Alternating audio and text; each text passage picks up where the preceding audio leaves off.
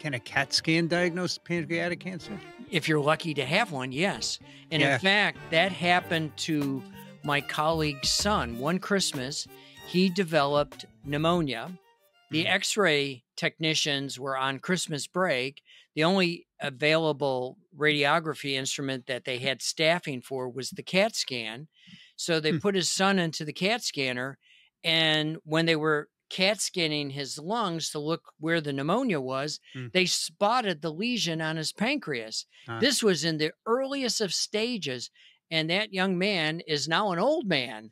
And so it's he wonderful. he was able to get that cancer taken out before anything You bad know, happened. I was I was talking to some people about using CAT scanning for diagnosis, and the insurance companies won't pay for it unless you have a risk. Like if you're a smoker, you can have a, a an annual CAT scan, and they'll pay for it. But if you're a non-smoker, forget it. And that's we're letting them run our health. That's not right.